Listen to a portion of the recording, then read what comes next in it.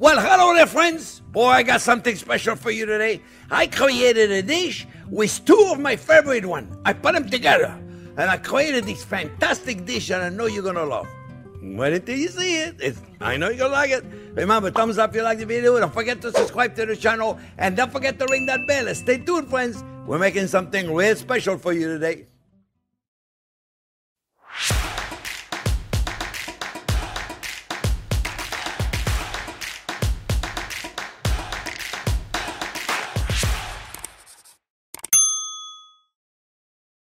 Okay, friends, I had an epiphany the other day in the shower. You know, I get my best idea in the shower. Um, and you know, I love onion soup and I love beef stew. And I said, wow, why don't I marry those two together and create a caramelized onion beef stew? Uh, onion soup and, and, and beef stew together. Everything I put in the beef stew, I'm gonna put it in there, and everything I put it in onion soup, I'm gonna put it in here. And that's exactly what we're gonna do. It's gonna be amazing. We're gonna do a, a uh, caramelized onion beef stew. My friends, I got chuck roast. First thing we're gonna do is we're gonna put salt and pepper in the chuck roast. All right? And then we're gonna saute it and we're gonna get a caramelized, we're gonna get some uh, uh, Maillard reaction. I got clarified butter down there, my friends. Clarified butter. Make sure that's what you do. Here. Oh, if you don't have clarified butter, I know a lot of you forget to do the clarified butter, but if you have clarified butter, my friends, if you don't, you use it because you know clarified butter's got a higher smoke point, and uh, and and no much touching down there. Okay, we want to create the Maillard reaction, so we're going to do this in batches. The Maillard reaction, caramelization of the protein. Okay, and uh, and so you don't want to put too many of them together. Crowding, no crowding. Do it in batches. You do a little bit, you take it out, you put a little more, you take it out. And, and then everything's got to be beautiful golden brown because we're going to need that caramelization. Because the minute you put the stew and the wine and all that, you can't do the caramelization anymore and you miss the opportunity to create flavor. Okay, for those that are new to the channel, welcome. I always like to welcome the new people, the new subscribers. Thank you for coming. Friends, this channel, we love butter. And we cook with clarified butter when it's needed because clarified butter uh, doesn't have the milk protein that regular butter has. So regular butter burns. That's why you use clarified butter. If you don't have clarified butter, use a, a good cooking oil. Eh? Now we got onion. We're going to caramelize the onion. Same deal. We're going to caramelize them really, really dark. And we're going to finish cooking them. We're going to finish cooking them in the stew. All right, so I couldn't remember how did I cut them. You notice, look, they're little strips. How did I cut it? How did I do? I cut them in half this way, and then boom, like this. And then that's how I got little strips. You don't want them to be too long, otherwise they're gonna hang out on your fork. It's no good, right? So we're gonna caramelize them, make sure they're beautiful caramelized. We're gonna do the caramelization of the beef the same. And then after this, friends, we're gonna put leeks leeks, and, and you notice I got leeks, the little strips, same deal, right? So what I do, I cut those in half, boom, and I cut them like this, boom, boom, boom, boom, boom, boom. Okay, boom, boom, boom, boom, boom. And you see, cut them in half, and then, and then you have little strips. Then you want to rinse them really good, my friends, because they're full of sand, okay? You want to rinse them really, really good in water, run the water through, right? So I got the leeks. We're going to do the same. We're going to saute the leeks as well. And then we got shallots. Shallots, same deal. Look how big those shallots are. So it's three onion. I put the three onion in my onion soup. I put in the three onion in the beef stew. Eh? And then I did the same thing. Cut the shallots in half, and then boom, boom, boom. boom, boom, boom again. Eh? So now we're going to saute those together. All right? So let me see how we're doing here. Oh, you know what? I didn't do it high enough. Sometimes I wonder about myself. I wonder. I, I was not, oh, no, no, you know what? Not enough caramelization here. I got to wait. Somehow, you know, when I talk to you, I'm always concerned I don't want to burn anything. And so, see, see right here, friends? Now, it's interesting because when you make a caramelized onion, you get them golden brown and then you steam them. Because right now you can get them all golden brown. Doesn't mean they cook. It's okay because they're going to get beautiful golden brown and to cook them in the stew. Okay, same deal I do the onion soup. I caramelize them and then I cook them in the stew. Beef stew, same deal. Okay, so we want to make sure we got some caramelization in here, and we don't have it yet. See right here, right here, my friends. You see right here? This is what I'm looking for. I'm looking for this beautiful caramelization. This is what we call the Maillard reaction. All right? So, friends, I don't want to make the video too long. You take your time. This is when you do this recipe, friends. You take a glass of wine, you relax. Okay? Oh, you stay over there. Not caramelized enough. I want beautiful caramelization on all the meat. That's exactly what I'm going to do. And then right there, I'm going to do the same with the onion. And then I'm going to do the same with the leeks and same with the shallots. And I'm going to put the whole thing together. So we'll be back in a couple of minutes when I got all my meat caramelized, okay?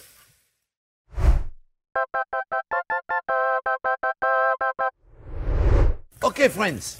The onion, I caramelized them. I'm going to put them on a plate. Got, got it right there.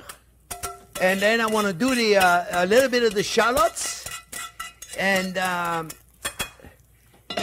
and the leeks. I'm going to saute this a little bit, so I put just a little bit more clarified butter. It's going to be good with all the butter. And then we got the leeks and the shallot. Now those don't require as much caramelization, folks, as the onion. All right, we're just going to saute them a little bit. All right, and then we're going to put the mushrooms. The mushroom, I cut them in, um, for the big one, I cut them in quarters uh, or in six or in eight, depends how big they are. So I got a little thing, and I'm going to saute those. I'm going to saute them in the same pan. I want to get rid of the water. How do I get rid of the water? Put a little salt in there. That'll help us, friends. All right, so we're going to saute the, uh, and we'll put a little salt on the leeks as well, and a little pepper in there. So, we're going to continue sauteing this. I just wanted to show you the steps, friends, so you, don't miss any of it. Eh? So let me tell you, if you don't have the leeks, and uh, if you don't have the leeks and the and the and the, the shallots, you can just do it with onion. It's fine, okay? We're gonna saute those mushroom friends until they release their water. And then we'll come back, we're gonna put the oh, we're gonna put the whole thing together, okay friends? I'll be back in a minute.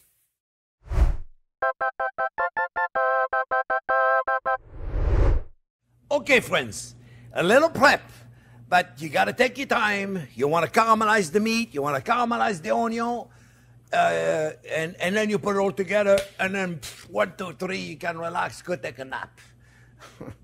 Depends what meat you're using. It could take a good two two hours, eh? two two and a half hours. I'll let you know exactly how much that chuck roast do. Uh, so we got the meat. We're, we're gonna put we're gonna put everything in a pot. Let me see the pot on. No, it's better better if you take the pot, turn the pot on. All it is really, friends, is a prep. Is just to saute everything to get some nice caramelization. So we're gonna put the meat and the juices. All right, meat and the juices. Then we're gonna put the the onion, the shallots, and the leeks on top of it. Okay. Now you can do everything in one pot. If you got one big pot, you take it out in batches. You know, take it out in batches, friends. And we'll put the mushrooms. Then I've released all of their waters. Then we're gonna put celery. Then we'll cut in small pieces. Eh? Boom. And when we put carrots, then we did, we used the roll cut to do those. You can do little slices of carrots, doesn't matter how you do it. Don't make them too big, otherwise they're never gonna cook, eh? Oh, stay over there, you. For the roll cut, you wanna know how to do this little cut right there? It's kinda cool. You use the video right there. We show you how to do it in the, uh, uh, right? In the video uh, when we cut all the vegetables. Now, we'll put some garlic cloves. You don't need to chop up the garlic, friends. The cloves, you know, when you poach garlic, that's my favorite. When you poach it, it becomes very mild. It's kind of like roasting it. Put as little or as much as you want. Ready, friends. It's up to you. Now, in the onion soup, I put in uh, um, fresh thyme. No, I don't know if I put in fresh thyme in my onion soup that I did on the air, but I have fresh thyme here. And then I got a little sherry, little sherry. You don't have to put sherry if you don't drink wine. I highly recommend you start though. little port wine as well. Port wine is one of those fortified wine that we don't need to reduce. I always have that question. Why don't you reduce it? Why are you reducing wine when you think about it? What's the purpose of reducing wine? To get rid of the alcohol and to soften the wine and to make it nice and smooth and sometimes sweet. Fortified wine is already sweet and, and, and, uh, and we don't need to reduce it. It's really that simple. All right, now, friends, we're putting beef stock in here. Look how beautiful my beef stock is. Look how beautiful that is. Recipes are there also if you want to make it. Remember, you don't have to start from scratch. You can buy a. am uh, putting enough beef stock to cover it, friends. You see? Cover it. All right? To cover the whole thing. Now, if you don't have beef stock, you can buy beef broth. And also in the onion soup, friends, I put two the chicken stock and the beef stock. You can do the two, or you can just stick to the beef stock. It's up to you. I'm going to do the two of them because that was my epiphany to have both of them in there. All right? I'm putting less, much less chicken than beef. You can just stick it with one. All right? So, so far, we got everything we need in here, friends. We got the garlic. We got the salt. We got the pepper. We got all the onion. We're going to put a little parsley and we'll put a little more parsley toward the end. We're going to bring this to boil. Got a little put a little more seasoning because my stock is not seasoned. And, uh, and, and we're going to bring this to boil. And then we're going to reduce it. And we're going to cook it very, very slowly. Bloop, bloop, bloop, bloop, bloop. Not, not, not, don't go out there crazy. Bring it to boil, friends. Bring it to boil. And the minute it's boiling, reduce it and let it cook slowly until the meat falls apart. It's really that simple. How long is it going to take? Could take two and a half hours. Depends the meat you have. Could take two hours, could take three hours. It's all based on the meat you have, my friends. All right? So, I forgot the very important element is to teach those of you that don't have a roux to put the flour. So I forgot it, so I'm going to go get it. So I'll be back in a minute. I'm going to show you how to thicken this correctly, okay? Okay, friends. I just wanted to make sure I had a little extra stock because I want to make sure I show you these tricks. Now, for those of you that have been following the channel for a while, you probably have the cooked roux right there. So if you have a cooked roux, you can put it in at the end. Because it's already cooked, you know, the flour. So you just go right ahead and you put it at the end. There'll be nothing wrong with that. But for those of you that don't have this, I highly recommend you watch that video that we did on it so you know what to do. Because right now, all I would have to do is put this at the end, get it to the right thickness, and I'm good. For those of you that don't have it, uh, there's nothing wrong with that because you just moved into the channel, friends, and you don't know about it. So if you don't have a cook roux, then you got to put flour. But when you put flour at the end, like a lot of people do, no, don't do that. If you put at the end, your, your beautiful onion stew is going to taste like glue. And we don't want to glue, right? So we want to put the flour now. How do you put the flour now? A lot of people go in there and put the flour now. Or they dilute it in water. Water! No, no water. So you know what we do? We take a strainer, friends.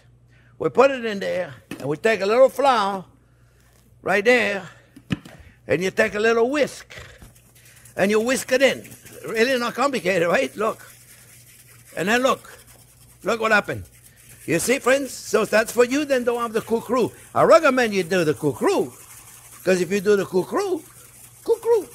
if you do the roux, People I, I just new in the channel, I said, that guy's a nut. That's okay. I'm your guy's nuts. Look, put a little roux in there. Hey, now be careful. Don't put too much flour. I'm demonstrating. I'm going to put too much. Oh, yeah, yeah, yeah, yeah, yeah, yeah. Slow down, yo, so you don't burn my hand while I'm doing this. I just want to show you the technique, okay, guys? It's really simple, right? But you got to do this at the beginning. If you don't do that technique at the beginning, what happened? I'll tell you what happened. The, um, the, the, your stew is going to taste like glue. I think I put too much. you see? You're making me make mistake. no, I, I think we'll be fine. Well, right now it looks like a lot, right? It looks like a lot. That's why you got stuck, ready to go. But I'm good. See, look, no, no, no flour, no nut, no, no, not no nuts, no um, lump. Sometimes I get my word confused. People say, how long you been here? 50 years and you still can't speak English? I know. It's confusing sometimes. All right, look, look, guys. Now I look like a, I look I look like a little too much, but no. I think I just look at this. It's already beautiful.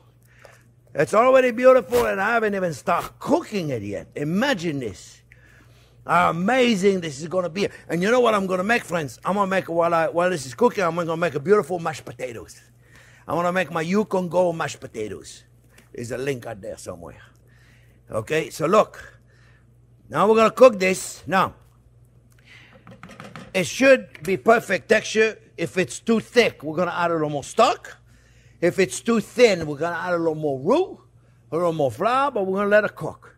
So we'll see you guys in about two and a half hours, two hours, when my mashed potatoes are ready and when I'm ready to serve this. This is going to be amazing. It smells amazing already. We'll adjust the seasoning later. We'll just get it all together beautiful. I'll see you in a minute, okay? Well, I'm sorry to interrupt the show, but I just watched the video and I forgot to tell you if you are going to do the flour at the beginning, which you should, uh, you got to be there and mix it every 10, 15 minutes because if you don't, the flour is going to fall in the bottom. So if you don't have time to be in the kitchen every 10, 15 minutes and mix it for like the next two and a half hours, here's what you do. You put it toward the end, like at least a half hour, because you still got to give time for the flour to cook. All right, so as long as you do it 20 minutes, before the end of the, the cooking time, when you see the meat is starting to get tender, as long as you do it then, and still stay with it though for the last 20 minutes, otherwise you know what's going to happen. It's going to stick in the bottom. So be gentle and stay with it until the end. All right, let's go back to the show. Two hours later. All I can say, friends, is mission accomplished. The stew that if you close your eyes, you think you're having onion soup and beef stew at the same time, which was really what I had imagine, uh, imagine, envision, envision. That's the word. It really is amazing. Uh, I'm telling you, uh, you know, I can't. It's just fascinating. Uh, you know, I, after 50 years in the kitchen, I don't get excited that much anymore.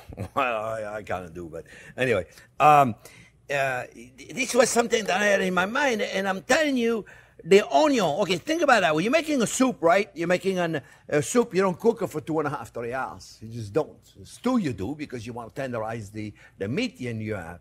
So what happened is the onion literally disintegrated. They, they melted away, if you will. That's what happened. They melted away. Uh, while the, the and they gave the, the the stew an amazing texture. You can feel the onion in your mouth, but you don't see them. I'm telling you, it's amazing. So I made a little mashed potatoes. You know, I love mashed potatoes.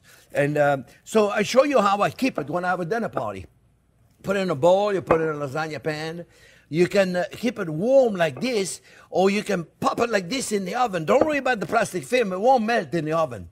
Because you're not going to cook them at 400. You're going to cook them at 250 or something. Or you can put it in the microwave for a couple of minutes. It won't hurt. So I put a plastic, a plastic wrap you see on top of the bowl. But I also put some on top of the mashed potatoes. You see, look. Look, mashed potatoes. And this is the mashed potato that I make with the, with the garlic. I poach the garlic in there. Jack is going to give you a link at it. It's amazing mashed potato, friends. I promise you. So you take your mashed potatoes and... Uh, I mean, that's the way I like to do it. You know, do it however you want to do it, friends. And uh, you take a nice serving of mashed potatoes, and you put them in the middle like this, right? And it looks like a vanilla ice cream. And um, and then you take your stew, which is amazing. I, I, promise you. I'll tell you what. I'm gonna I'm gonna bring it to it, and then uh, put it right in there, just like this.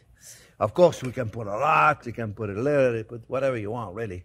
You know, it's uh, it's really up to you, my friends, what you want to put in there how much you want to put in. And um, so far, I haven't messed up anything. So I'm gonna go. I'm gonna. I'm just gonna put a couple of more pieces of meat right there, and then you you know you'll put some nice piece of carrots on top, make it look pretty and everything.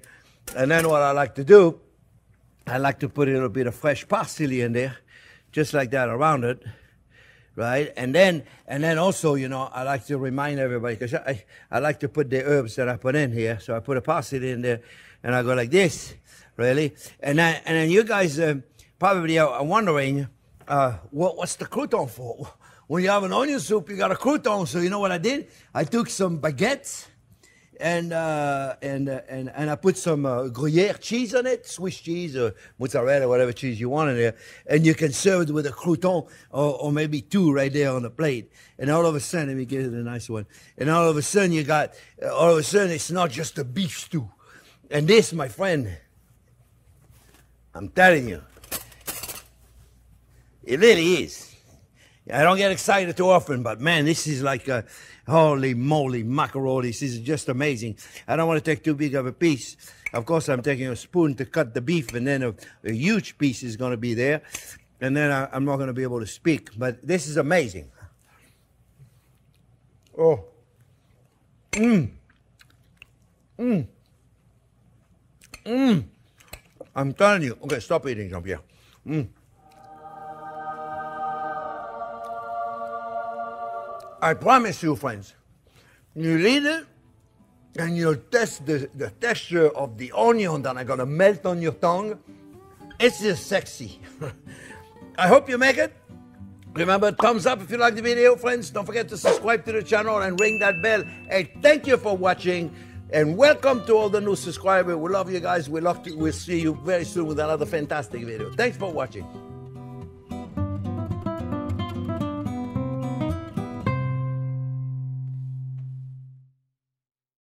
Man, this is good. Oh, that's really. Uh, oh, mmm. Boy, boy. Yeah, I leave you some, Jack. Don't worry. Mmm. Oh, man. That's delicious. Okay. Ah. Mmm. Mmm. Mmm. Mmm. Oh. Well, hot. Okay, stop eating. Mm. Mm. I gotta make a thumb there. Yes. Mmm. Oh man. It's really delicious. Mmm. We gotta do an intro and a thumbnail. Yeah. Okay. Oh. Man, it's good.